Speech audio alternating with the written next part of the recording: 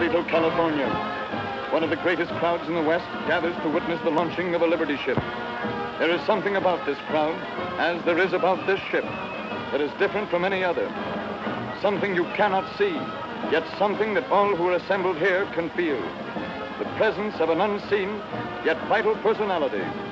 For the name of this ship is Jack London. Never was a Liberty ship more fittingly named. The fearless spirit and purpose of the man lives again in every member of its crew and invests the ship itself with true significance. For Jack London was more than a great author. He was a real American. He lived and wrote that others might be free. Free to read the truth. Free to right a wrong. Free to raise their voices on behalf of the welfare of their fellow men.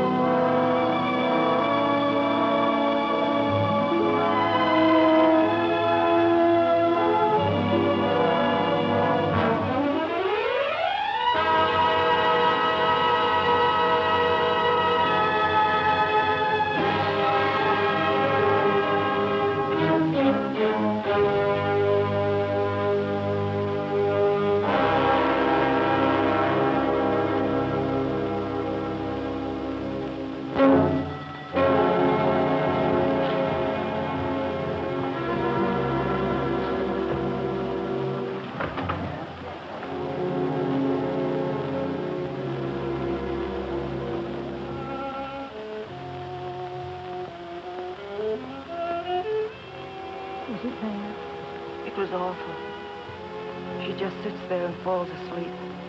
And the next thing you know, she's into it. And the machine smashes her hands.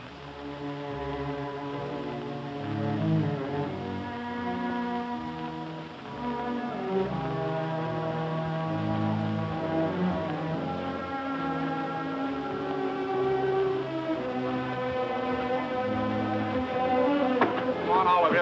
Everybody back to work.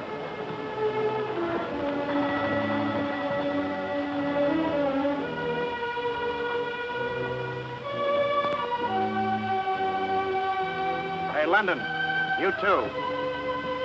Come on, get back to work. You won't have a job.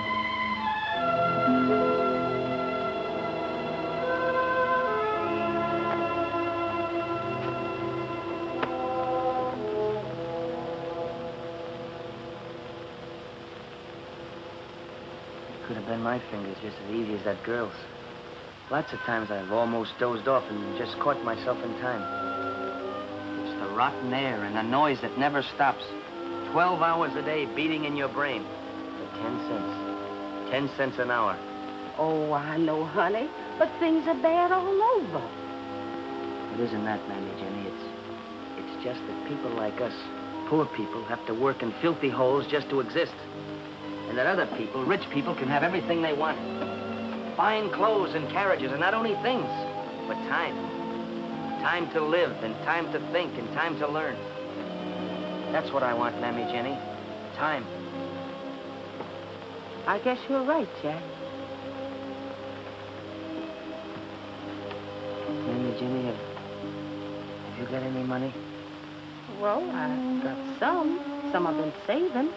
Would you lend it to me? What for? I want to get myself a boat. I can make money, lots of it, fast.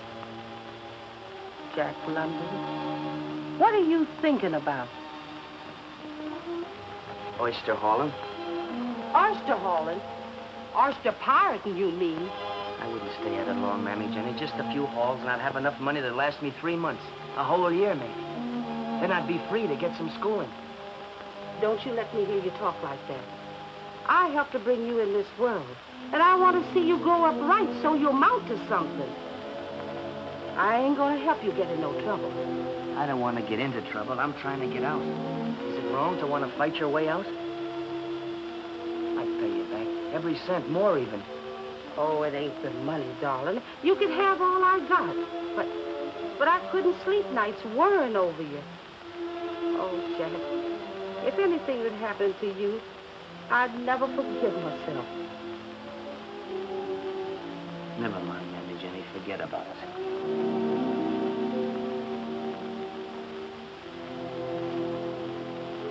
One seventy, one eighty, two hundred, two twenty. Five makes two hundred and twenty-five. And you get bargain move here. I tell you straight, I hate to give her up, but I got chance to buy bigger boat. I've had my eye on her for a long time. I've been a fool working in those jute mills and canning factories. Well, come on, let's uh, wet down the deal, huh? Oh,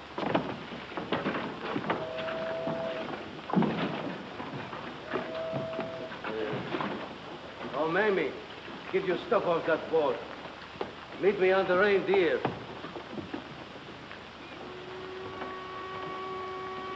You know, you're gonna like that boat. That's a good boat.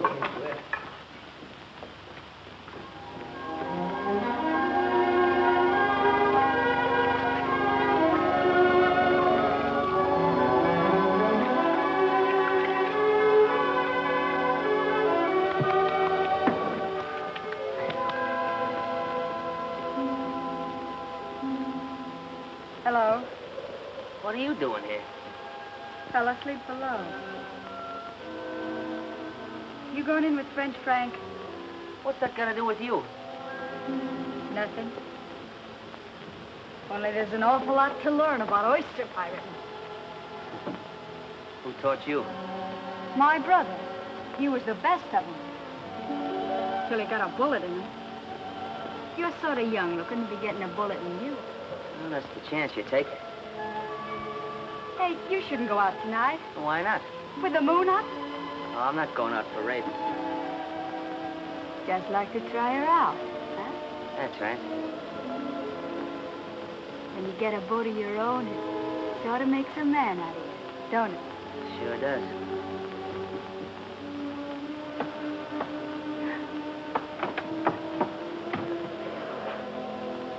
We got some sail patching to do.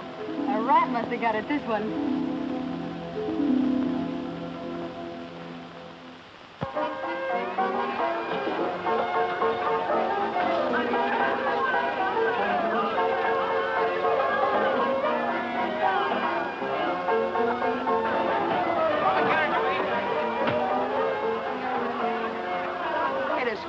Scratch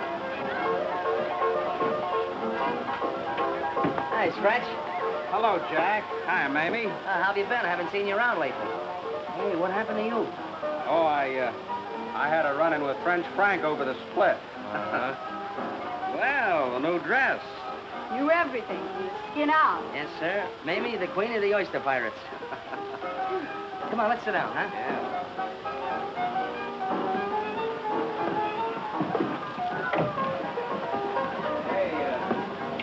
Jack, you know, I was just wondering, how's about me coming in with you?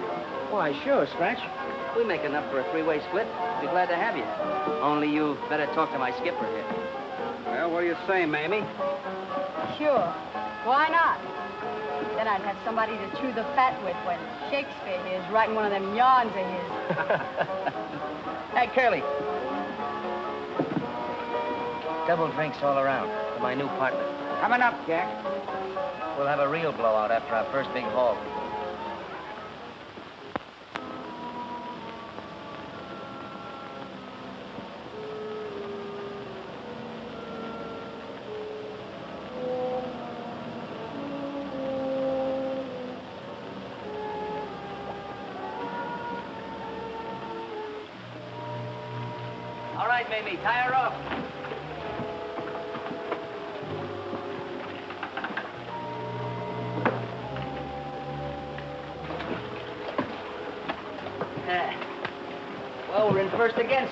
We ain't been second yet.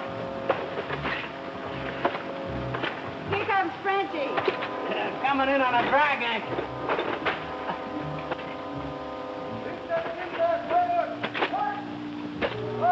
Come on, let's beat him to the market. That's the girl.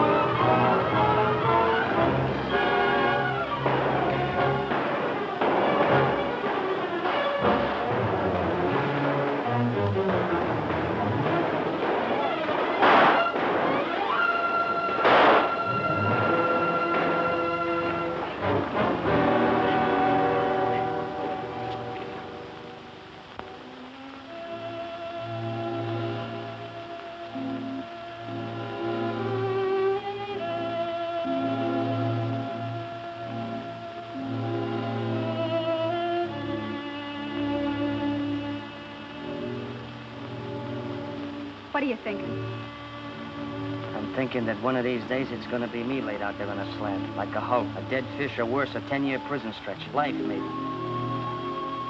Let's go someplace, huh? I can't. What are you gonna do? I'm through with this rotten business.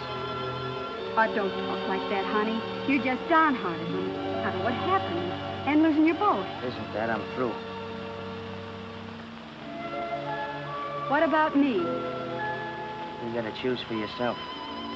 You bet your life I'll choose if that's the way you are. I'm sorry, but I got to. You're yellow. That's what you are. Quitter! Dirty, stinking quitter!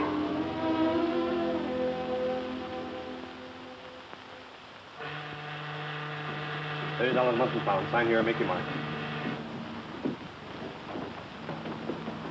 Thirty dollars monthly pound. Sign here and make your mark. Thirty dollars monthly pound. Sign here. Well, Tom, old forty-eight. Why, I thought you're back on that farm. I didn't make it. I'll make it this time, though, you bet. How long is this cruise? About seven months. The Bering Sea. Well, that ain't so long. That's right, Tom. That's right.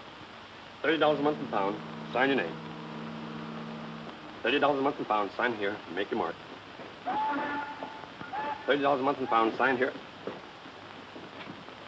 Name. Jack London. Experience. Not very much, sir, but I'm a good sailor. What are you signing on for? Able-bodied seaman. All right. Thirty dollars a month and pound. Sign here and make your mark. He writes fine, just like a girl. Thirty dollars a month and pound. Sign here and make your mark. Thirty dollars a month and pound. Sign here and make your mark. Thirty dollars a month and pound. Sign here and make your mark. Thirty dollars a month. How soon pound. we sail, here and your Captain? Oh, you're anxious to sail, eh? Sure am. You just can't wait to tangle with them seals, huh? Down the forecastle.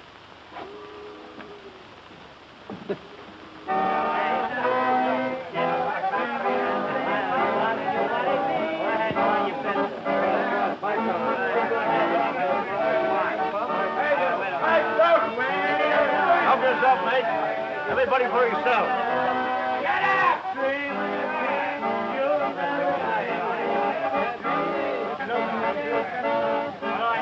You're gonna like this old boat. I'm glad to be on it.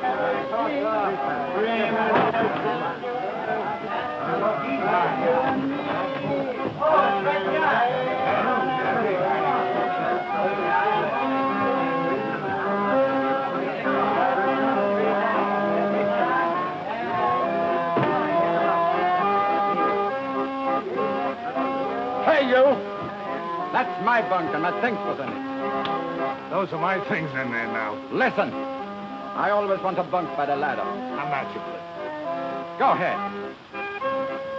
You move. Maybe I'll bunk by the ladder next trip. Oh, shut up!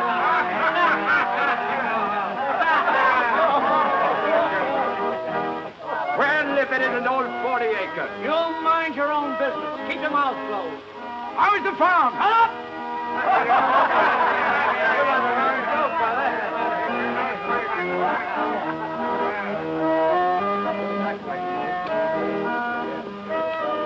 What's that, a Bible?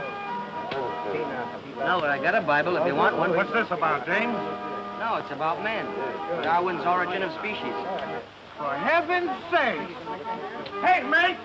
We got a professor aboard! Give me that book. You ain't gonna be selfish with your learning, are you? Give me that book. Hey, Vickers!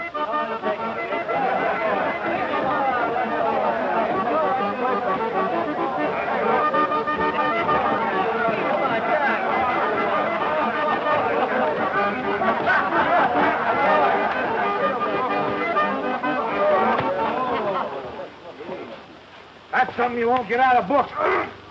Why don't you leave the boy alone?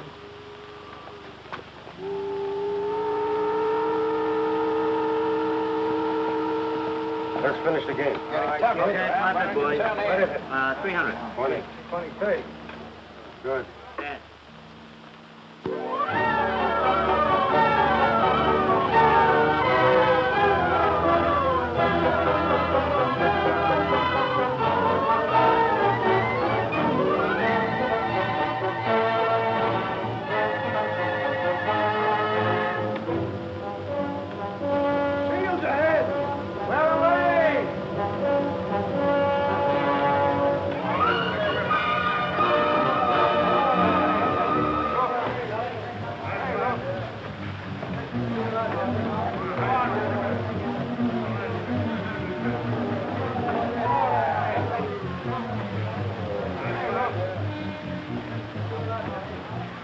Somehow it doesn't seem right, killing these poor innocent seals. Only to get a fur coat for some dame. Yeah, who's doing it for dames? We're doing it for dough. You mean we're doing it for dough to put fur on, James? That right? Well, I got one down in New Orleans, and I'm going to marry right after this trip. We're going to have plenty of kids, too. That's right, Victor. yeah, the trouble is you'll never get past the first saloon. Not this trip. Boy, I'm going to save every cent I make this time. Yeah, like old Tom. He's always going to buy a farm. You mind your own business. Shut your big mouth. Yeah, why don't you leave the old man alone?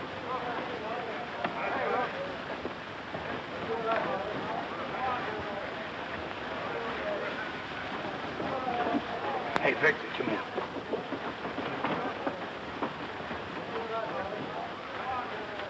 Oh, landlubber. Greenhorn. Hey, London. What'd you do with that whetstone? I left it aft. Well, get it, will you? This knife of mine won't scrape a seal's eyelid.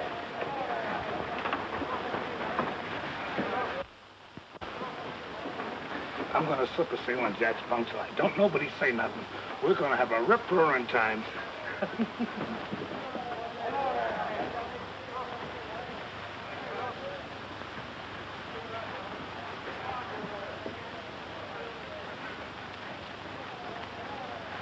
Hey, where you going with that? She's got a date tonight. Don't nobody say nothing.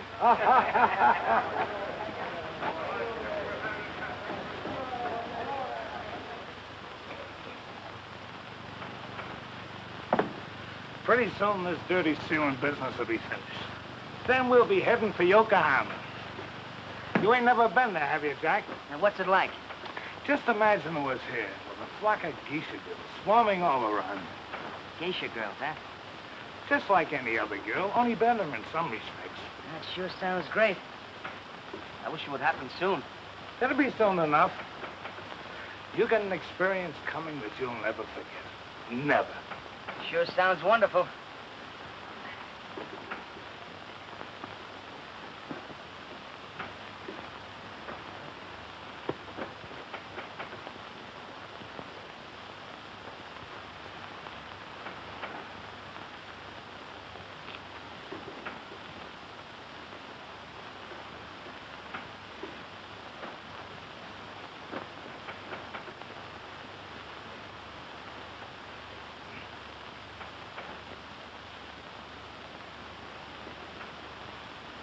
Looks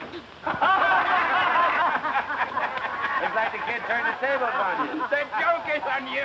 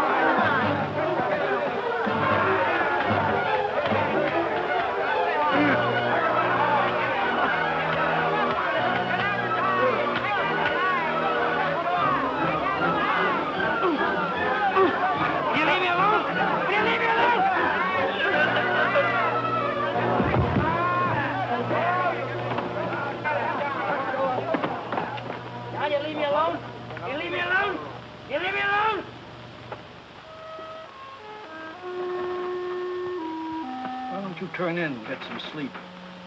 I just want to set something down. Not a man, but a beast. A wolf. A sea wolf. That's what we all are. But it's the sea that makes us that way, son. Cooped up here like a lot of animals, doing the same thing day after day, thinking the same things night after night. No wife, no kids, nothing. Just dreams. Pretty soon we'll be back where we started from. And then you'll see. The big pail will go in the night. And the dreams will go in the night, too. Then we'll sign on again and it'll be the same thing all over. Not me. I'm going to be a writer. Going to write about? About all this, I guess. Only sometimes I worry about words. I don't know enough about words.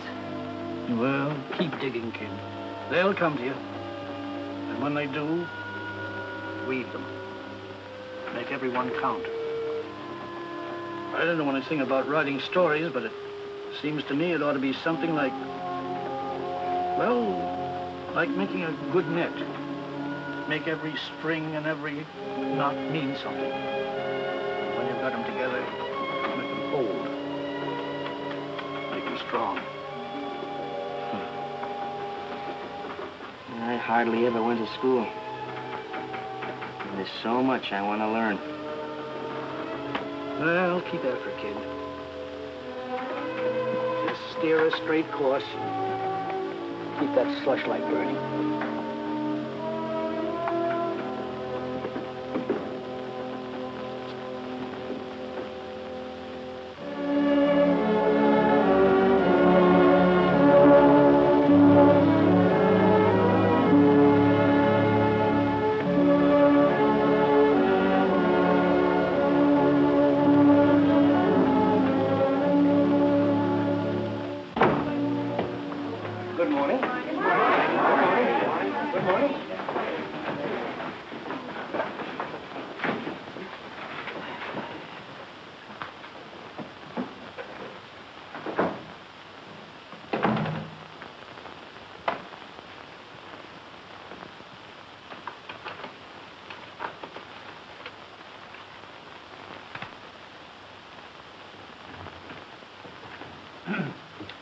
I spent a pleasant evening going over your short story compositions. As usual, I have selected examples from the submissions. And as usual, the author shall remain anonymous. So if the shoe fits, you can hide your consternation behind a poker face. The two stories I have selected represent the extremes in writing. One is fraud, an attempt at whimsy that evaporates into thin air. The other is raw, almost brutal to the point of unbelief. In other words, one of you have tickled a cloud with a feather, and the other has battered good taste with a sledgehammer. I shall read from the feather. Penelope nibbled at her bonbon. Her thoughts skipped from nothing to nothing. She was in a pink blue haze. Her mamma wafted in and blended with the nothingness. She seemed desperately worried. Penelope, she breathed, have you seen my thimble? this made a profound impression on me. I immediately stopped reading and went back to my police gazette. I now come to the sledgehammer. Go on, he advised her. Pull the trigger and kill a man. Spatter his brains on the floor and slap a hole in him the size of your fist. That's what killing a man means. Excuse me, Professor Hilliard, but since you've made me a horrible example, would you mind discussing my story a little bit? Not at all, then. Not at all. Well, sir, just what is it that's so wrong with my writing? Well, boiled down, I should say too much imagination, too much exaggeration. After all, you know, London, slap a hole in him the size of a man's fist is... Uh... I saw it happen in a joint in Singapore. You saw it happen? Well, uh, perhaps I shouldn't have brought it up. You see, Professor Hilliard, I've only written about what I saw. It seems to me there's nothing wrong in writing about life and truth. But do you think you'll get very far writing about poverty, cruelty, brutality? It's my experience that they exist, sir. And if I could put them down on paper so people would think about them and try to destroy them, then I'm doing something. Ah, now we're coming to it. Do you want to be a writer or a crusader? Well, I don't know if I'm capable of being either. I knew when I came here that I was different from the rest of you, but that didn't stop me. Your entrance exams almost did, but I crammed myself with what I needed to get by. I knew that I had to dig harder than the next fellow because I'm rough and barren ground. But, sir, I've watched the Chinese cut terraces into a rocky hillside and patiently wait for the rain to wash down silt so things could be planted and made to grow. In a way, I felt that I was like that, that with a little help, I could make the things grow that are inside of me. I learned that a strong back wouldn't take me half as far as a good head if I could develop one. That's why I came here. But, Professor Hilliard, if my great fault lies in writing about what I know and what I've seen, then I'm afraid it's a fault that can't be corrected here. I'm sure you didn't intend to ridicule me, sir. It's perhaps a trick of yours to make me think. Well, sir, the trick has worked.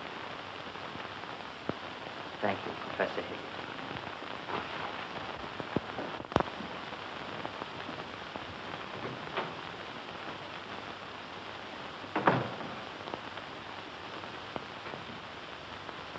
You have just witnessed an unusual display. Unusual in that we so seldom meet with it today. The uncommon thing called courage.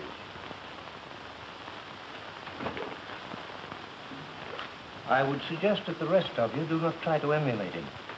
It takes a lot of uh, intestinal fortitude, for which Mr. London undoubtedly has another word.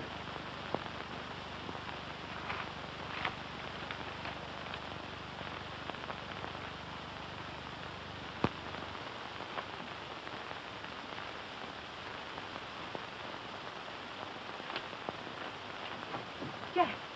Jack, darling. What's wrong? You in trouble? No, Mammy Jenny. I sent for you to help me pack and store some things. Pack and store? What are you talking about? I'm going away, Mammy Jenny. I don't know when I'll be back. Oh, quit being foolish. What about your schooling? What about your writing? There goes most of it. You you mean you burning all them stories you done wrote? And rewrote, Mammy Jenny. Not all of them, though. I'm saving some. And one of these days, when I'm successful, I'll dig them up out of this trunk and dust them off and send them to the same editors who are turning them down now. They'll buy them when I'm famous and write to tell me how good they are. But, Jack, you got me all mixed up. First you sweat and you grub and you work yourself sick so as you can go to school and learn to write. And it, just like that. And say you're going away. Where are you going? To the Yukon, Mammy Jenny. Yukon? Where's that? Up north in Alaska. What are you going up there for? To get some money, Mammy Jenny. There's been a gold strike. And with a little luck, I can hit it. And I won't have to worry. I can sit tight and study and read and write what I want to write. Not what a lot of editors and professors expect me to write. But, but how do you know you can do better up there than you can do here? And how are you so sure you ain't biting off more than you can chew? I got as much chance as the next fellow. You don't understand, Mammy Jenny. I, I just can't stay around here and be cramped between the jaws of a vice. I've got to get out. I've got to get away. Oh, I just wish I could be sure you wasn't jumping yourself out of the frying pan into the fire. It's so easy to do, Jack. But there's very few people that can jump out of the fire back in the pan again. Nothing could be as bad as the fire that's burning inside of me now. It's trying to burn through. It's got to burn through. Someday, Mammy Jenny, maybe you'll know what I mean. Someday, maybe a lot of people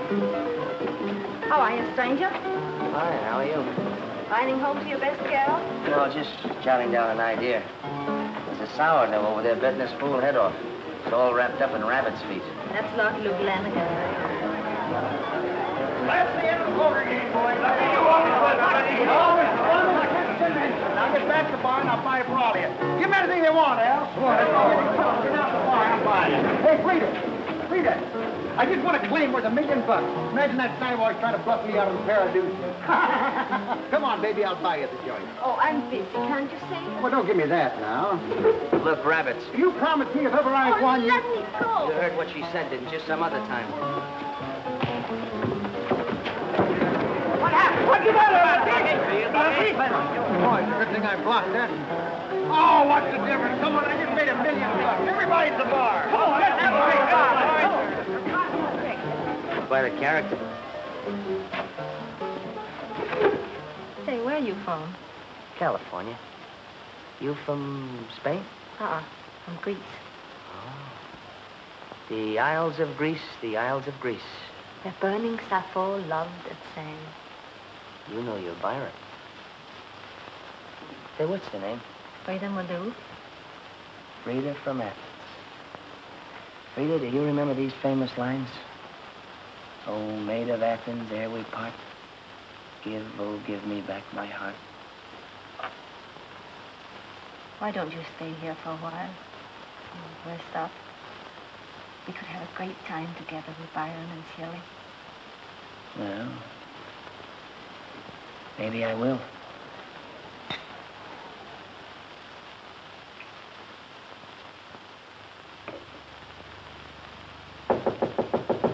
That is. Hello. You got a minute? Where have you been all day? Well, I got an idea last night from what you were telling me about that mass book. Excuse me. I got an idea last night from what you were telling me about that mass ball, and I wrote a story about it. Of course, it's still rough, but I think I caught something of you in it. I'm going to call it The Scorn of Women. Hey, that doesn't sound bad. Well, here goes. Frida was a Greek girl. At least she purported to be Greek. Her furs were the most magnificent from Chilkoot to St. Michael. Oh, that's overdoing it a bit, isn't it? And her jewels were the envy of every woman. Ready, Miss Maloof. All right.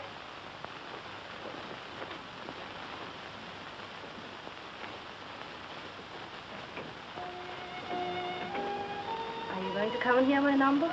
Sure. I want to fix this first. Excitement? Gold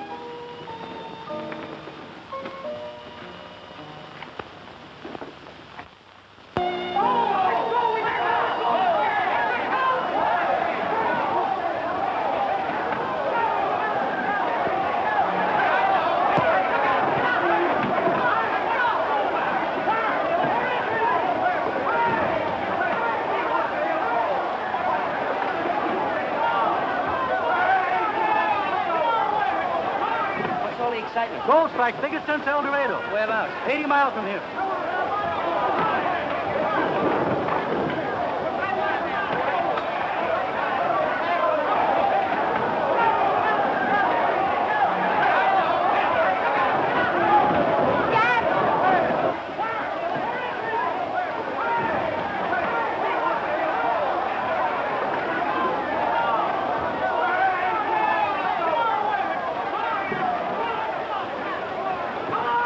Where are you going? There's been a gold strike 80 miles north of here.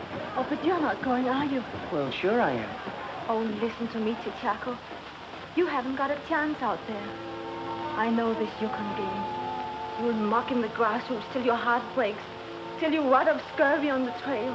I know, but... Believe me, in the end, the winner is a loser. All the money comes here. It stays here, right here in Dawson. Thanks, Frida. But I don't think I'm cut out for this stuff. Oh, ideals. Listen, I gave up a million bucks for you last night. Doesn't that mean anything to you? Everything beautiful. Oh, Cheechako. I'll think of you on the trail, Frida. Byron and Shelley under the stars. I wish I was back here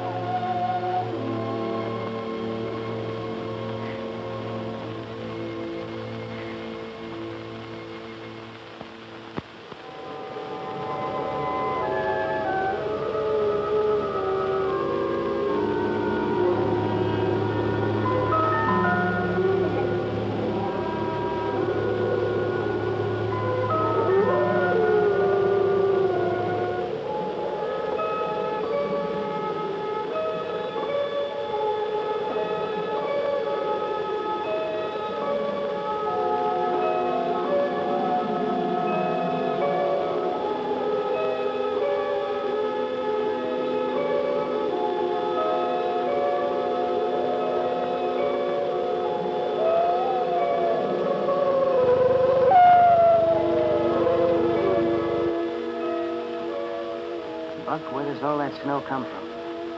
And why? Does snow a man in all winter? Keep him from his purpose? Frozen handcuffs. See, there's an idea for you. A man commits a crime, evades the police, and escapes to the Yukon. But gets snowed in. And spends the whole winter in solitary confinement. Oh, don't like it, huh? Not good.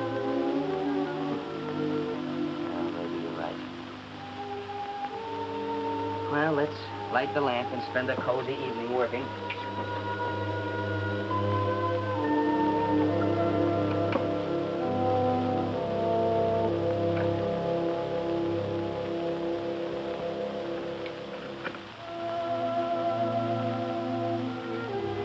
Now, if you're a good fellow, I'll let you in on the last two chapters I wrote.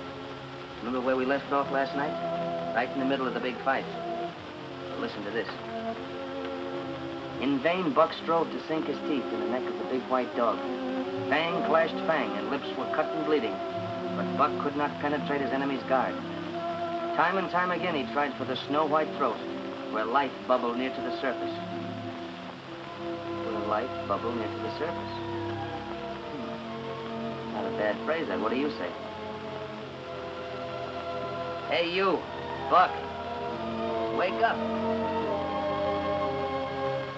Aren't you even interested in hearing about yourself?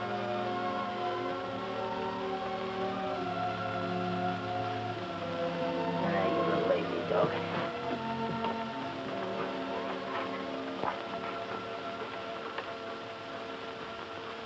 Say, where did you get that terrible scar? That must have ripped you wide open. What a life you must have led, Buck. If you could only speak, what stories you could tell. What a collaborator you'd be.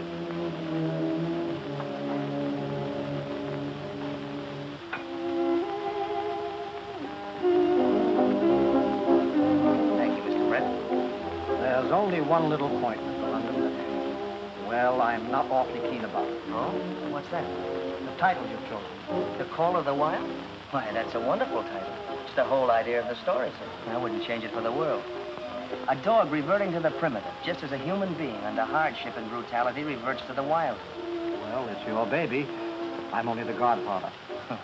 I'd like to change it for you, Mr. Brett, but that's its name. It was born that. All right, George. That's you, sir. Well, shall we go? Sometime you must tell me how it was born. Writing like that doesn't come out of nowhere. It came out of the Yukon. And unless I miss my guess, it's going to mark a milestone in American letters. A story about a dog? A dog, huh? Here you are, Mr. Brett. Thank you, Jenny. That's what it's about, sir. Mm, It's about life. You said so yourself. It wouldn't surprise me if the critics hailed you as the Rudyard Kipling of this country. Kipling? He's always been my idol. He was mine, too, until, uh, well, quite recently.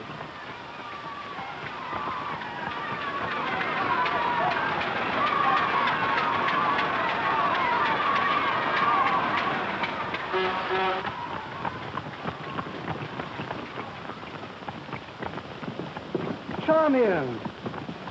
Why, hello, Mr. Brett. Well, you two must know each other, of course. No, I'm afraid not. Let me introduce you, Miss Charmian Kittredge and my favorite author, Mr. Jack London. How do you do, Miss Kittredge? Oh, how do you do? I'll see you later, Mr. Brett. Well.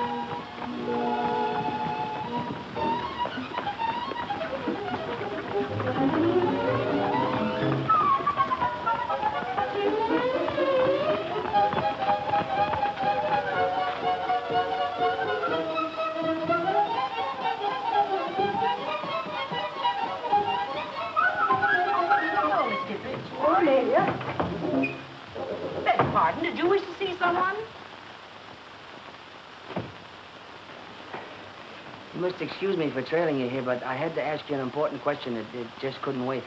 I can imagine why you're really here. I want to apologize to you, Mr. London. Apologize? Yes. I... I was in such a hurry to... to... I'm afraid I was a little abrupt on the street just now. Abrupt? I'm glad you didn't notice it. I have to get to work, but I'm happy you gave me this chance to explain that I didn't snub you purposely. Of course you didn't. Why did you snub me? Purposely? But I assure you I didn't. You snubbed me. Purposely. Believe me, Mr. London, I didn't. Purposely? But everyone says you're going to be a gold mine to the firm. I wouldn't dare snub you. Why, what would Mr. Brett say? Purposely. Mr. London, if you're not going to believe me, Pardon me, Miss Kittredge. Mr. Brett wants to see you right away. And may I offer a couple of words of advice? what? Don't go. No, no, you stay here. Let me go. I'll explain to him and tell him it's all right as far as I'm concerned. Thank you, Mr. London, but I happen to be quite capable of taking care of my own affairs.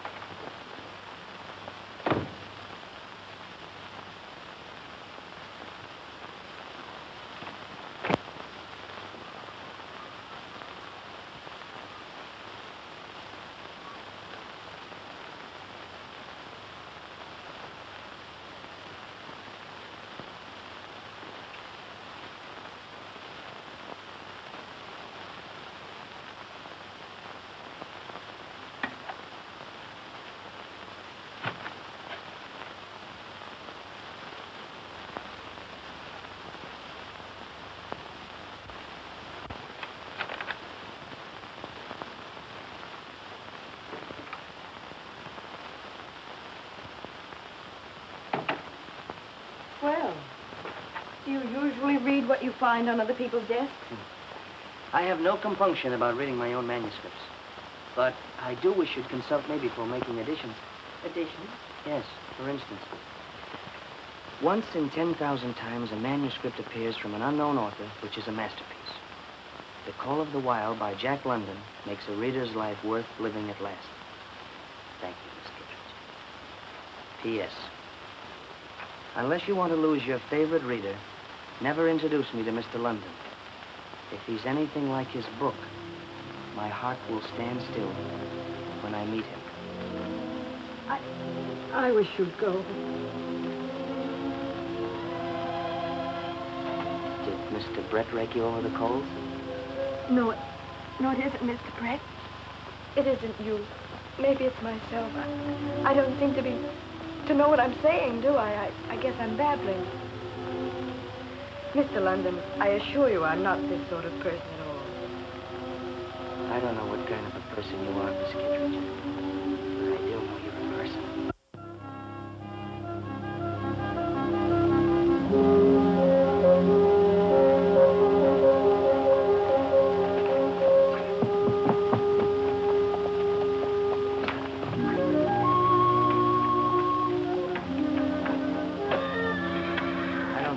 Don't think that horse likes me.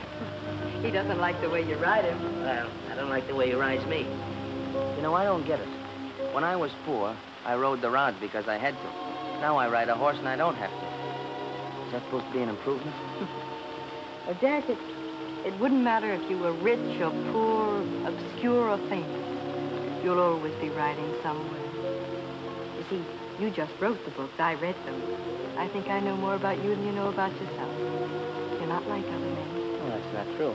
You should read the works of Jack London sometime and find out about yourself.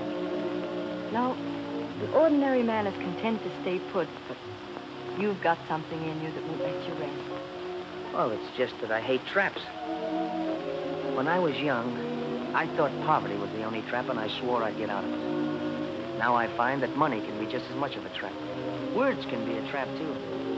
Have you ever thought of all the people who have been caught and held by words like honor, duty, and love? You mean that you think love is a trap, too? No, I, I didn't mean that. I mean that I understand. You're afraid for me, aren't you? You're afraid that I'll be the one to be called a trap. Oh, don't be foolish. I thought you understood about women. Don't you remember Frona? Your own heroine and daughter of the snows. A girl who makes her own way, daring, courageous, loyal, and understanding. She loved a man. Without that terrible possessiveness. you're like that. I'd like to be. Charmian, when a man and woman meet who are meant for each other, it's like a ship, new launched, rushing to the sea. The sliding waves rebel, but neither sea nor ship hear them as they rush into each other's lives.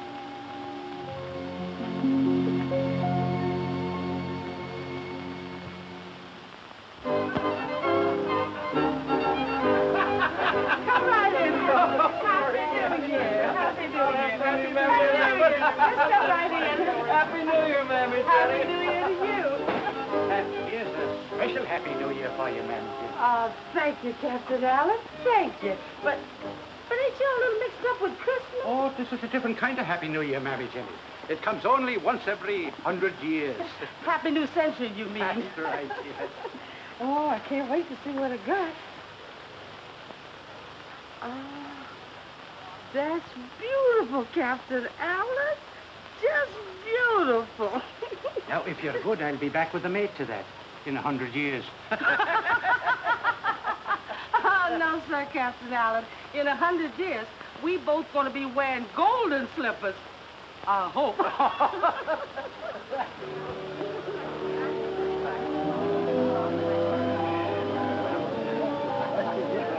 But, gentlemen, there's never been a century like it. When you think of the progress we've made in culture, in industry, the comforts we enjoy, electric lights, the telephone. And don't forget those horseless carriages. A, a friend of mine has one, uh, one longer, and I swear we must have been whizzing along at 20 miles an hour at least. No doubt about it, Jack. Civilization's darn near reached the apex. The millennium, huh? Not far from it. Well, the way I see it, we've only got one foot out of the Dark Ages. Machines are great, sure, but they only make more things more quickly. There's nothing spiritual about them. You can't change what's in a man's mind or in his heart. You can brag all you want about culture and progress, but what bucks big in a man's mind today is materialism, money. Money out of machines and money out of everything.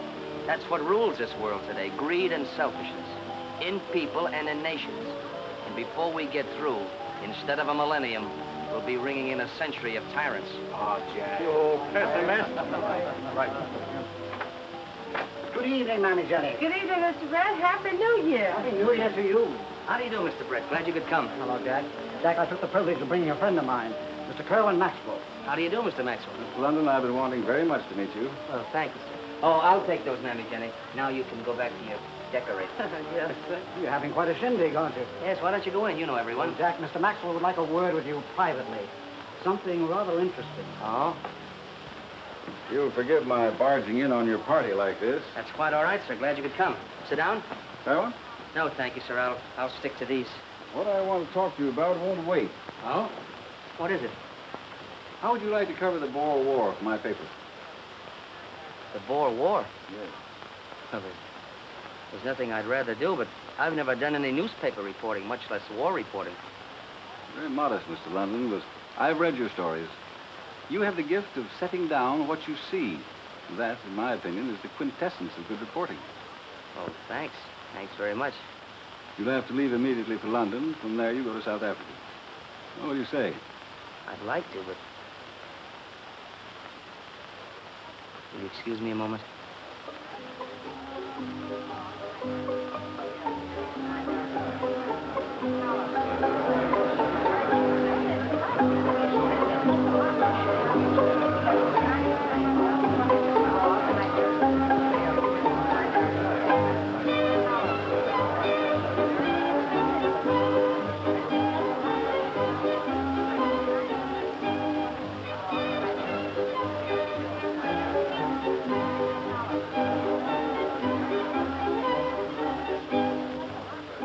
What is it, dearest? It's quite a surprise. I hardly know how to tell you. Mr. Maxwell of the Globe has just made me a very flattering offer. Well, that's wonderful. Well, maybe it is, maybe it isn't.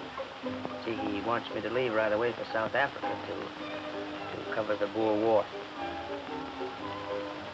What did you tell him? I, I didn't tell him anything. But you want to go, don't you? Question, of course, with me postponing all our plans. We'll have all our lives. This will be a great adventure for you.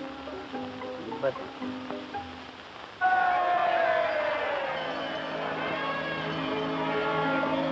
Happy New Year.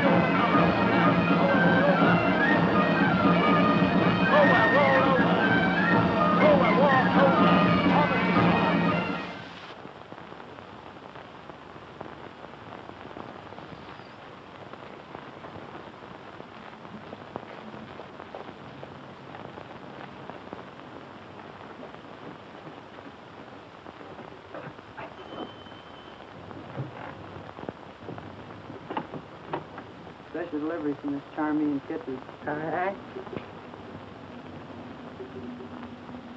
Thank you, sir. Oh, Miss Charmian. Miss Charmian, here's a letter from Mr. Jack. Return address, Port Said. Oh.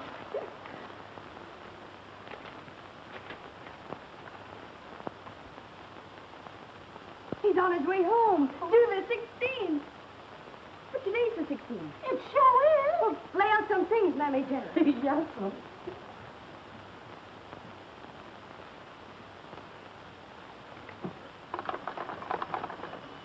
Mark it 9623, please. Cunard line. Could you please tell me what time does the Cambria get in? Why, the Cambria docked two hours ago. Thank you.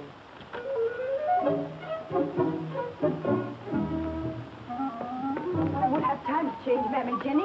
The boat docked two hours ago. For goodness sake. Just give me my cape. Yes, sir. And my gloves.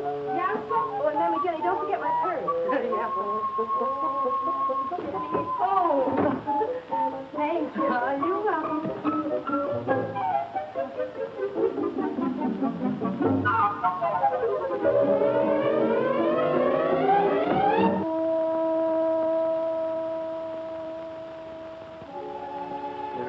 You're as I knew you'd be.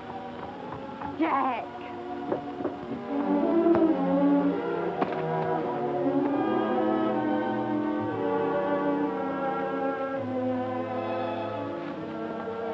Oh, Jack. Oh, Jack. Beautiful. I got that at a bazaar in Benares. To tell you the truth, I wasn't going to buy it, but you put up such an awful fuss. I. Everywhere I went, you were right there beside me. Now you're really here. It keeps. Nothing will ever take me away from you again. Nothing, darling. You still want to marry me? Tomorrow? And tonight we celebrate.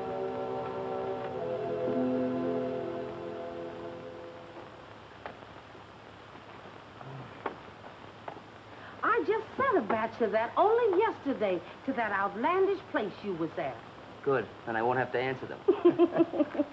Mr. Jack, here's a telegram. A telegram? Yes, sir, just come for you about an hour ago. You want these, Mr. Jack? No, thanks, Amy. I won't do it. I won't do it. I tell you, I won't go, Mammy Jenny. I won't go. But this has got to be the last. It's past closing time. You would have had me lose my license. With Mike, we gotta settle this first. There's only one way to settle it. I've been telling you all evening. Get married and raise a house full of kids. Well, how can I do that with a war breaking out? It ain't our war. We ain't even in it. The Brahmins. They want me to leave in the morning for Japan. A lot of correspondence are going. Jimmy Hare Fred Palmer and Richard Harding Davis. Oh, I've never seen a war, Mike. You can live your whole life and never see a war. Sure. But what beats me is if you're brave enough to face a war, why can't you face her and tell her you're going? Mike, in a war, you got a chance. But with a woman, Yeah, I know. You lick before you start. but I gave her my word of honor. And if you go, you lose her. And if you don't go, you lose the war. That's right. That's what I've been telling you all evening. Then we're right back where we started.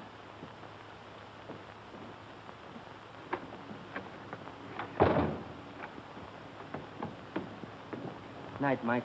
Thanks. You've been a big help. Better stay home, Jack, and raise them kids. Now, don't start that again.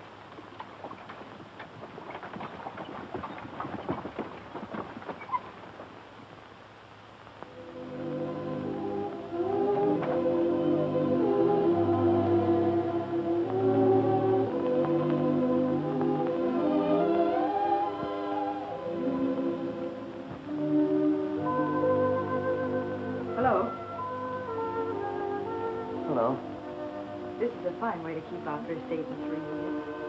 Oh, darling, please don't. Could you? Well, I, I was detained. How? Where? Well, I, I received a telegram from Mr. Maxwell, and I had to go see him about it. Can you imagine? He wants me to leave for Japan. In the morning. Japan. Yes, there's a war breaking out with Russia. What did you tell him? Well, I, I, I told him no, of course. And did it take you until 2 o'clock in the morning to say no? Well, Maxwell's a funny fellow. He, he, he can't take no like an ordinary person. He kept insisting that this is the chance of my lifetime. Wars are getting scarcer and scarcer. And marriages are getting commoner and commoner. Well, you can go. It's perfectly obvious I mean nothing to you, nothing whatsoever. You mean everything. No use, Jack. If you think I'm going to ruin my life for a man who's blown here and there by every wind of adventure, you're very much mistaken.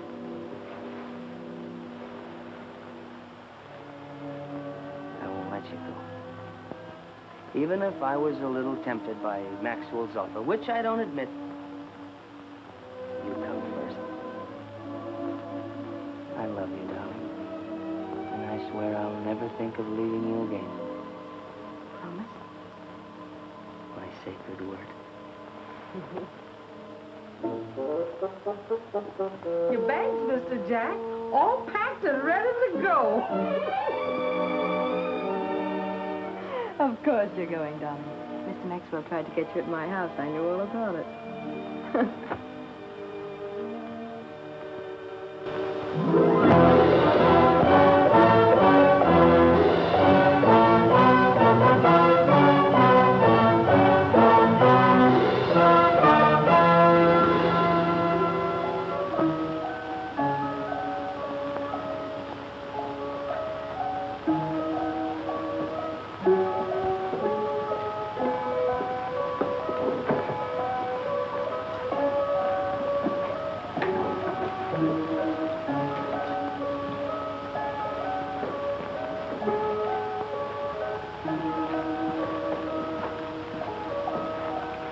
They're certainly breaking their necks to make us comfortable. You can have it. Cases and all. What I'd give for a steamed beer and a corned beef sandwich. Looks like you're going to have it. They're concluding peace negotiations right now. 7,000 miles to Tokyo, and nothing to show for it but a nice pot belly from washing rice down with sake. You can't tell. As long as those skirmishes on the Korean border keep up, there's they no don't telling... mean a thing, Dick. Just saber rattling to scare the Tsar into conceding some point or other. Maybe. Well, I'll string along with Davis. Russia doesn't want war, that's a cinch. And if these boys want peace, why are they sending troops into Korea? Who said they are? I say they are. I was down at the waterfront this morning...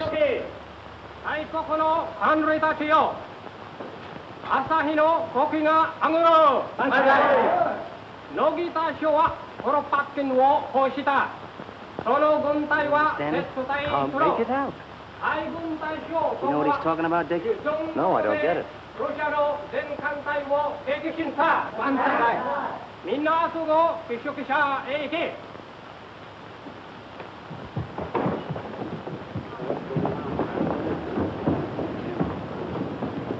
Say, just a minute.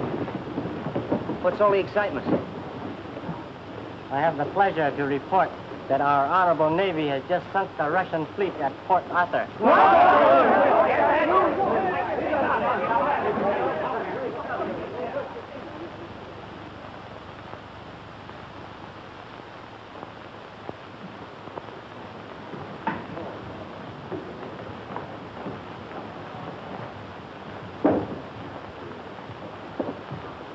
I believe they're all here. I deeply regret that I cannot grant your minister's request that you be allowed to go to the front at this time. Personally, I have no objection. But unfortunately, such permission must come from a higher official than I have the honor to be. However, I will use my humble persuasion in an effort to make your desires possible.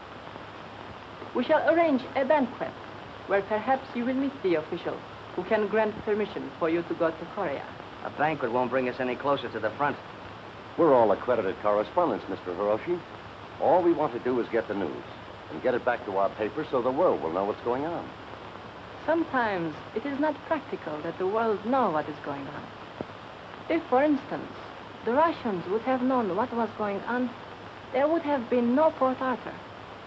We could not have dealt what you call in your country the first punch. You're a little mixed up, aren't you? You mean sneak punch. The idioms of your country are so quaint, young man. I'm sorry. There's nothing I can do at the moment.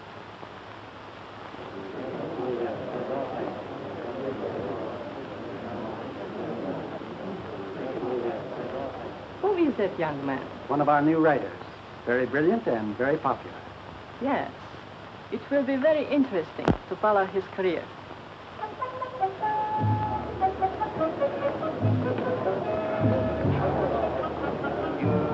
Hey, Dick, what are we going to do about this? Well, there's no use of arguing about it. We're in the same predicament as the girl who was told she could go swimming, but not to go near the water. Well, I'm going near the water. I don't care what that little sawed-off runt says, permission or no permission, I'm going to Korea. Jack, that's being plain bullheaded. I've been in the game too long. You can't get out of Tokyo without official sanction. Dick, I'll bet you a $100 I can get to the front. I'll bet you a $100 you won't. You're on. Hey, Jack. Good luck, Jack.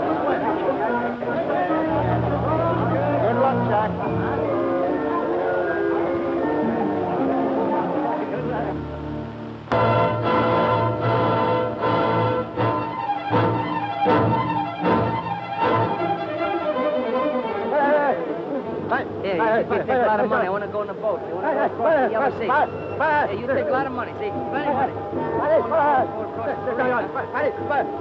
Here, you have the money, huh? Money, money, hey, money. Across the yellow sea, huh? What? Hot?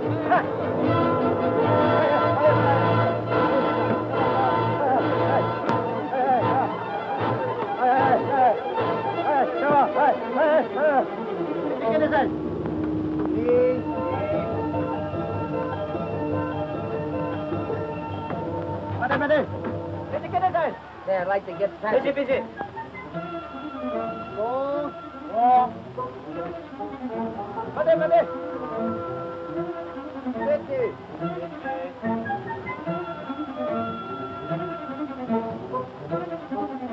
Okay.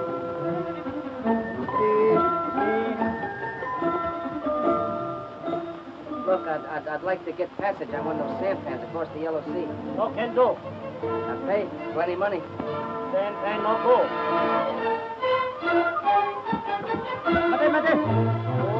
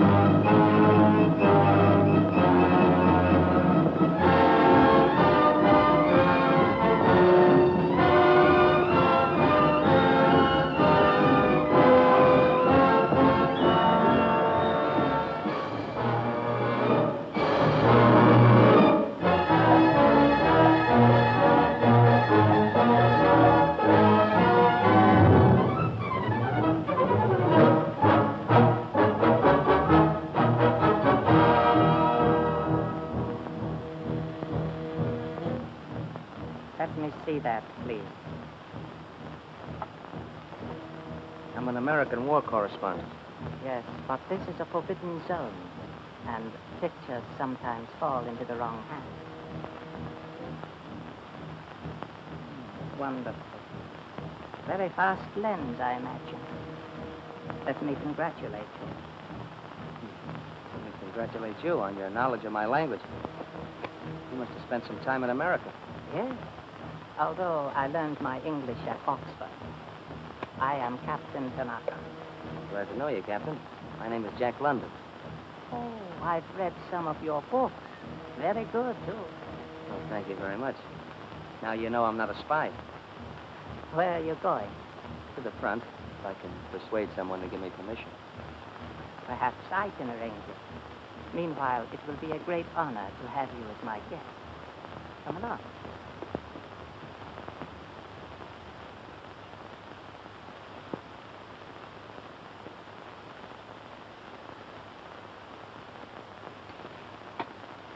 Better try some of this excellent caviar. It will do much for your appetite. No, thank you. This is fine. This is a nice, cozy place you have here, Captain. I believe in comfort, Mr. London. Especially when our enemies are gracious enough to possess good taste. As we go deeper toward Russia, I expect to add to my collection. Is this part of your collection? No, Mr. London. This is a game we've devised, which has become very popular in my country. We call it Sinonde. Sinonde? Literally, that means patience. But you might even call it destiny. Now, this little contrivance here, I call Yogensha, the prophet, since it foreshadows coming events. Interesting, is it not? Yes, very interesting, Captain. You see, Mr. London, this is not only the rising sun, it is also a wheel, the center or hub of which is Japan. That's a very unusual map you have there, Captain Tanaka. Yes, our eventual sphere of influence. Here, I shall show you.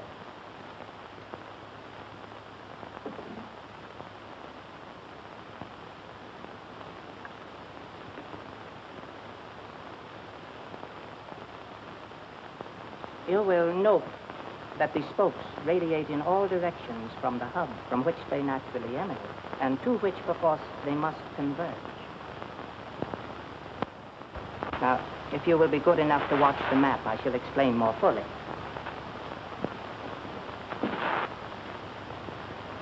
Here is the theater of our present operations. But tomorrow, as you shall see, we will have crossed the Yalu River. And soon we'll have all of Korea. A stepping stone to Manchuria. Manchuria? And then Mongolia. A land of milk and honey.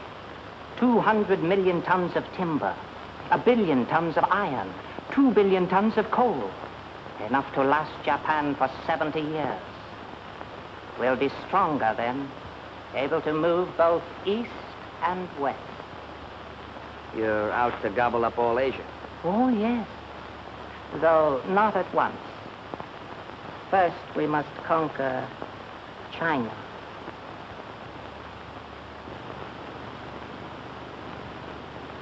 It sounds a little bit incredible. But entirely logical, I assure you. Oh, uh, won't you be seated, Mr. London? Thank you. You see, a policy of peace is quite impossible for Japan. England can afford to pursue peace and develop trade relations because she has India and Australia to supply her with foodstuffs. So can America because of South America and Canada. But in Japan, our food supply decreases in proportion to our population, you understand. If we merely hope to develop trade, we shall be defeated by England and America. In the end, we will get nothing. That is a mathematical certainty. We've got to control China. But in order to control China, we will have to crush your country and England. That may take many years, of course. Fifty, a hundred perhaps. But it has all been carefully planned. Scientifically. The rising sun has a destiny. Her expansion is inevitable.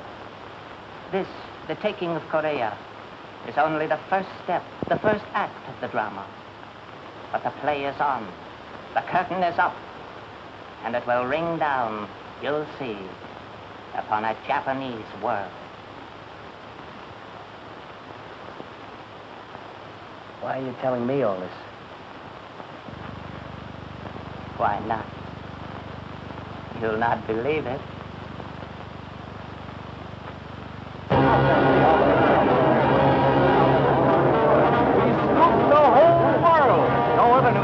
Has it, not even the European paper. Wait a minute, wait a minute, boys. If you want to hear some good reporting, listen to this. I knew he'd do it. I knew it. Isn't it wonderful?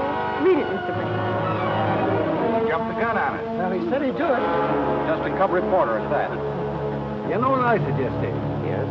That we draw up a petition to the Japanese government, protesting, demanding that London be ordered back from the front, or else we be granted instant permission to leave. I second that idea. We'll all sign it. You write it out, David. I'm as mortified as the rest of you celebrated war correspondents. Being scooped by a novice. As a matter of fact, I should feel worse having lost a $100 to boot. we all had the same chance to get to Korea at the risk of our lives. To my mind, we should draw up a commendation to a very courageous newspaper man. I suppose you're right, if you look at it from that point of view. I propose a toast. As a matter of fact, I've read it in one of London's books. Here's to the man on the trail this night. May his grub hold out. May his matches never misfire. I'll drink here. You're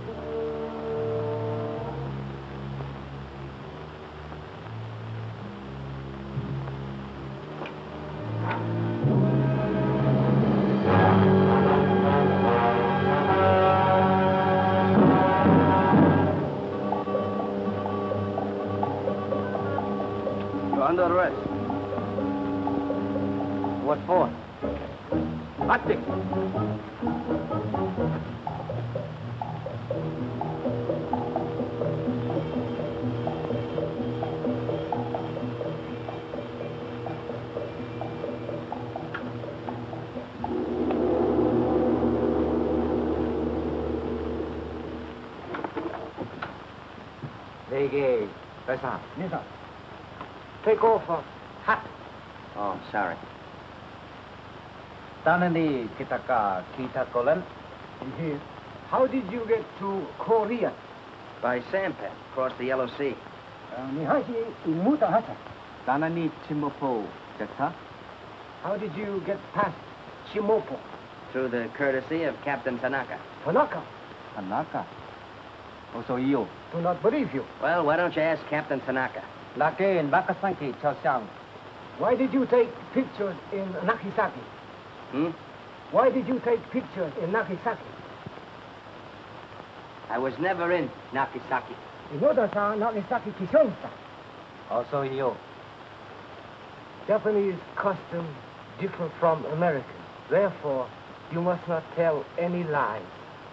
Ikito. Yes. General, it's all true. Good, good. You stay in the jail. Hey, now, wait a minute. You can't do this. I'm gonna... Come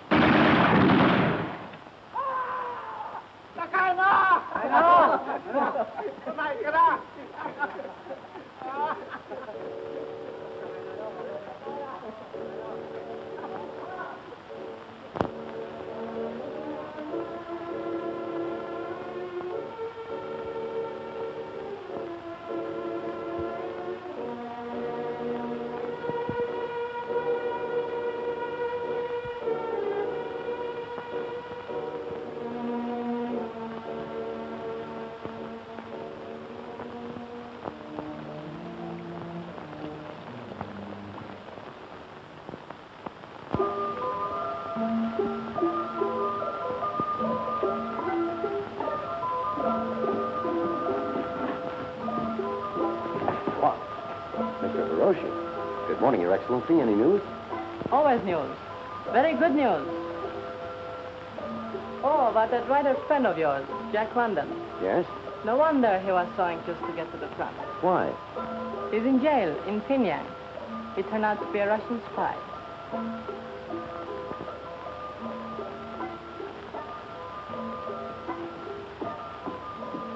Cable blank, please.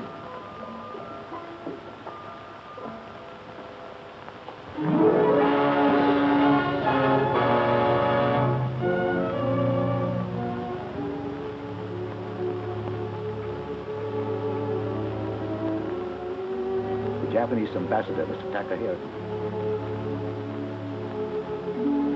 You wish to see me, Mr. President?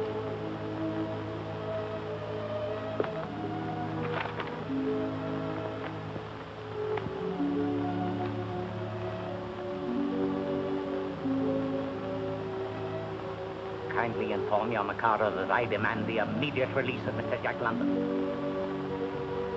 I'll convey your suggestion, Mr. President.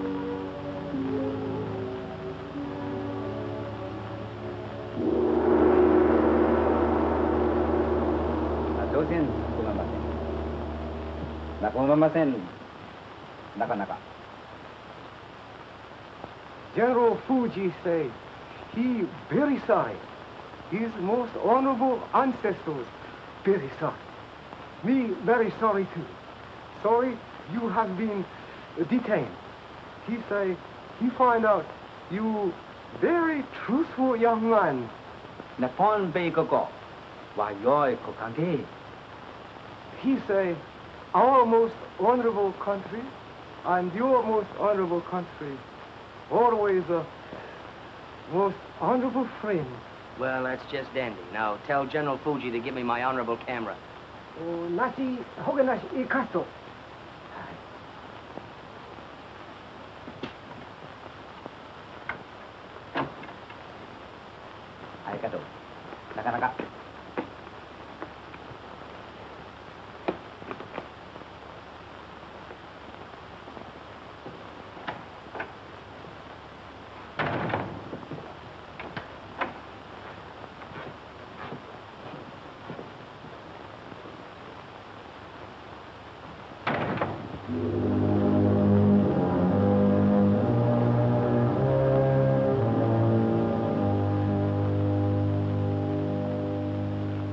Japanese peril. The brown beast. Asiatic dream. Great writing, Jack. Great. But good heavens, man, you don't expect me to publish these things. Why not? Because you're known for good common sense, for hard facts, for the truth. Now, who do you suppose is going to swallow this stuff? A big truth is more difficult to swallow than a big lie, but it doesn't make it any the less the truth. I didn't write these articles for fame or money, Mr. Maxwell. I wrote them because I felt it was my patriotic duty, and it's your duty as a publisher to print them. I'm sorry, Jack, but I can't. For two reasons. First, you've nothing to substantiate the charges you make against Japan. But I saw it with my own eyes. Japanese treachery, Japanese barbarism. I've told you of the hours I spent listening to Tanaka. An army captain, a madman, most likely. Genghis Khan was a madman, most likely. So was every conqueror down through history. And second and most important, Japan and this country are friends. Japan is one of this country's best customers. We do billions of dollars worth of business with her, and you insult her at every turn. Well, look, you see here the Japanese race has embarked on a course of conquest, the goal of which no man knows. That's right. And here, again, the head men of Japan are dreaming ambitiously, a Napoleonic dream. I say more. What happened at Port Arthur will happen again someday. Will happen here to us. When the Japs beat the Russians, they conquered the white man for the first time in history, and they mean to go on conquering them. Someday the white man's dream bubble of peace with Japan will be punctured. But one country at least won't be surprised. That country will be Russia. She was wakened from her dream. We're still dreaming. Oh, Dreaming. Why, Jack, you're cuckoo. Those sawed-off little runts in their paper-mache island, why, we could lick them with one hand tied behind us. Mr. Maxwell, if Jack feels so strongly... Don't about argue with him, Charmian. I'll get this stuff published. I'll yell it from the rooftops. Come along, dearest. All right, you old firebrand. But nobody will believe you. Two reasons. It's not the truth he's worried about. I proved that to him. It's money. Two billion dollars worth of business. Sure, sure. Lull yourself to sleep, then your little brown customer sneaks up and slits your throat, and he says they won't believe me. Maybe they won't believe me. Of course they'll believe you. Darling, everything you write, everything you say rings with truth. It's real and honest. It's you. It's the spirit of Jack London. I knew it when I first met you. Remember what I told you? About a ship in the sea? I'll always remember. When a man and woman are meant for each other, like the ship new launched, they rush to the sea. The sliding waves rebel, but neither sea nor ship hear them as they rush into each other's life.